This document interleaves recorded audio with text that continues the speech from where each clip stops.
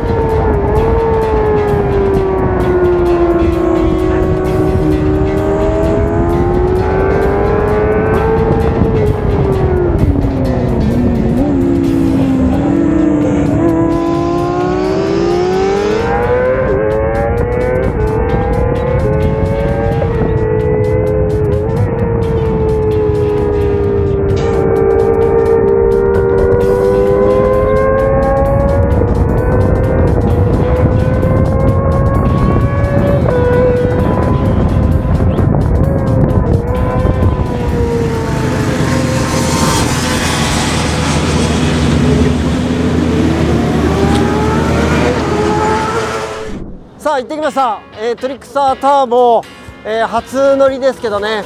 あのー、これはね面白いと思います。そしてね思ったよりも安定している。もっと二輪のターボってあの純正でね昔から忍者のね GPZ ターボとかねヤマハのターボホンダのターボとかいろいろありましたけどやっぱり純正だってあのターボ車をね作るのはなかなか難しい。安定させるのは難しいんですがまあ現点でやっぱりよくセッティングされてるなと思います。そしてターボの面白みといったらねやっぱり途中のね回転の吹き上がりの伸び感でしょう。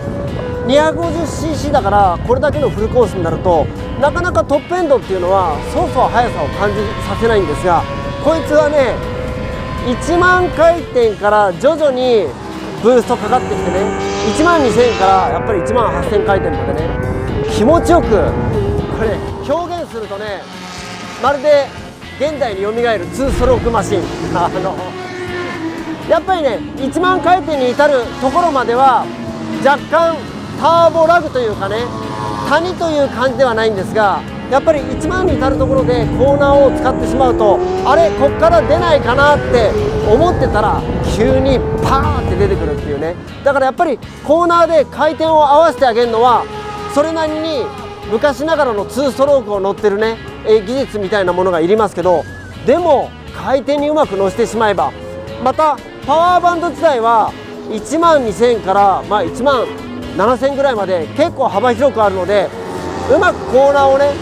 えー、高回転に高回転に持っていっていればやっぱりこれは速いでしょう。あのー今これねニコニコグランプリっていう 250cc の中で、えー、走らせてもらいましたけど全くストレートに関しては問題にならないほど速い。コーナーリングはですね今ノーマルサスペンションなんで結構みんな速く走ってますけどでもコーナー後ろにくっついてればとりあえずストレート1本で23台は軽く抜けるなっていう感じはありますよね。どのぐらいのスピード感ってね 250cc のターボっていうのをなかなか表現するのは難しいんですがもし川崎がねこの後 ZX4R 作ったら多分それとこう互角にね対等できるんじゃないかなと思いますよ。今はね ZX4 が出るか出ないかとかって噂されてますけど今 250cc 乗ってる皆さん 全然戦えます。それとねただね ZX4 と戦うんだったらなんかね2ストロークのマシン乗ってるような感じになると思う。やっぱり ZX4 は下からもあるだろうけれど結局1万回転以上うまく使ってコーナリングを稼いでねそしてトップスピードで抜くみたいなそんなね争い感ができるんじゃないかなと思います、えー、今回ブーストアーツがね、まあ、コンマ6で、まあ、お客さんに出す時にはコンマ4からコンマ6でっていう形になっておりますが本当はねもっともっとブーストをかけたくなりますけどやっぱり消耗の度合いとか、えー、そういうものを考えると市販化にあたって今コンマ6に抑えてそれでもこんだけ速いんだっていうとあのトリックスターがあのトップスピードにチャレンジしていたね。あの塩って一体どのぐらいかかってんだろう。ちょっとそっちを乗ってみたくなるし今日本当は乗れるかなと思ったんだけど残念ながら今日は市販化状態の市販化状態か市販化するっていう状態のね最終テスト段階だけどあのね俺は街中で開けてアクセル開けて楽しむだけかと思ったんだけどいやサーキット今日走って全然サーキットで戦えるなってうちのうちのねあの 250cc のスプリントレースこれ持ってきたらレギュレーション的にはこれ OK なのでターボって。これはね結構問題になるでしょうね、えー、1回か2回勝ってもらってもいいけどあんまりあんまり出てきてもらっちゃ困るかなって感じだけどどっかではどっかではニコニコグランプリで1回こいつの速さをちょっと見せてもらいたいっていうかね。あのコーナーをあんまり無理しなくて本当ストレート1本1本でね出られちゃうんでそういった意味ではあのー、ていうのかな。250cc でカスタムする楽しみとしてね、あの、安定感もあるしエンジンチューニングってそれなりにね、あの、ちょっとリスクもあるんだけど、まあ、今回は随分安定させて安定させた状態で乗せてもらったなという感じです。あのそういったところがね面白いかな。もうでも一つ言うならばねできたら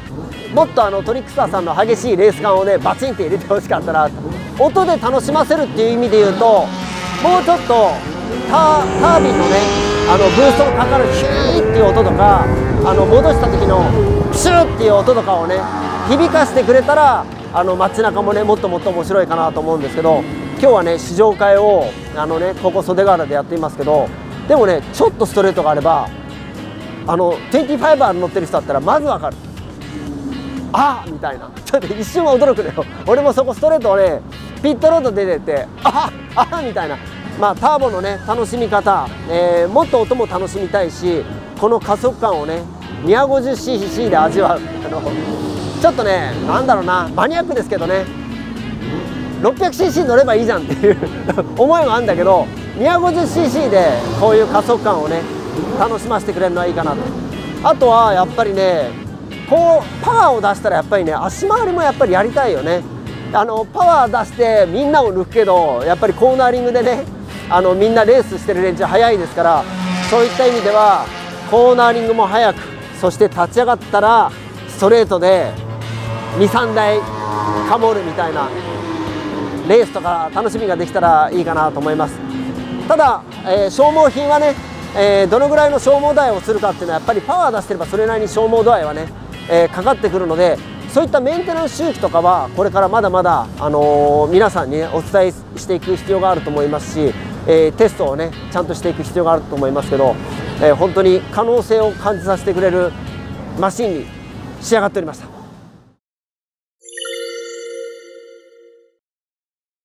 えー、もうあの作り始めてどんくらいですかターボ仕様。1年は超えてます？1年やっちゃってる1年はやってる、はい、あの何を一番苦労しました？何でしょう？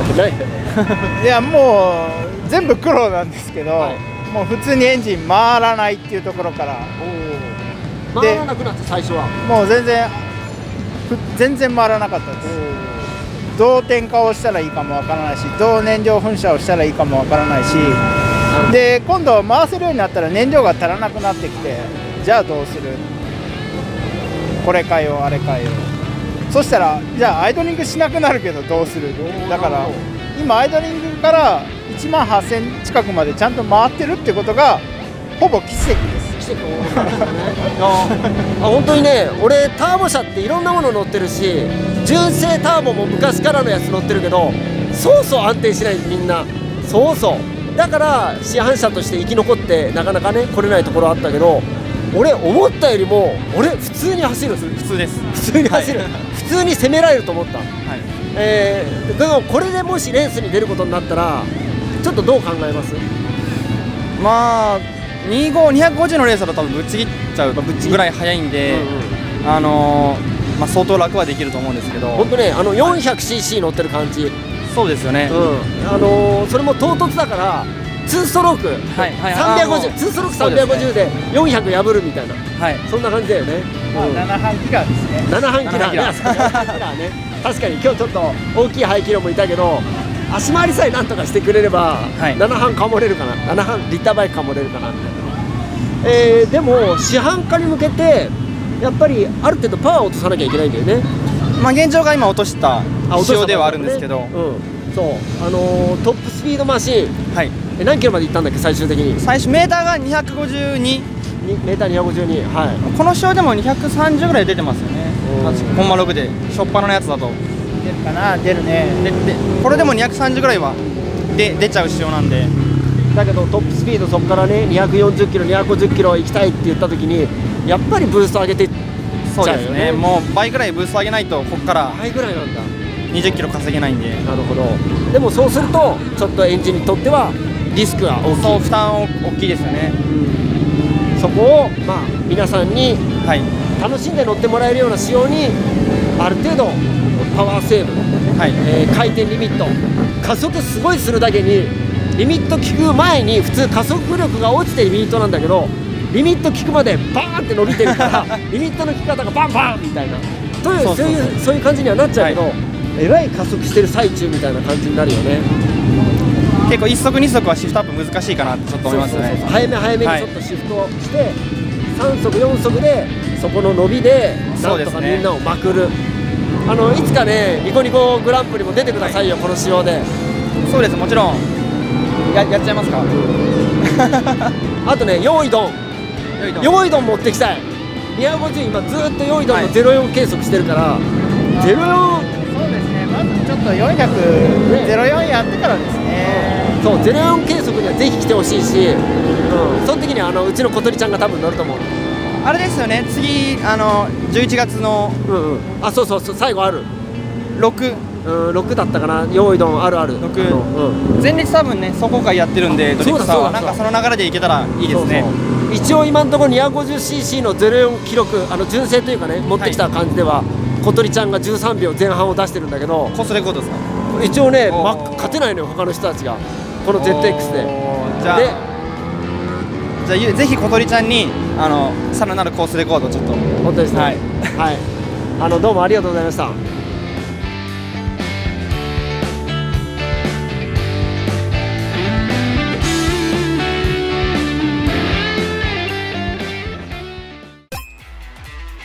今日もご視聴ありがとうございます。この動画がいいねと思った方はグッドボタン、そしてチャンネル登録よろしくお願いいたします。また今回試乗した車両については詳細欄にリンクを貼ってありますので気になった方はチェックしてみてください。さらに MSTV ではチャレンジ女子アナ男子キャスター募集しております。また制作委員会へのご参加もお待ちしております。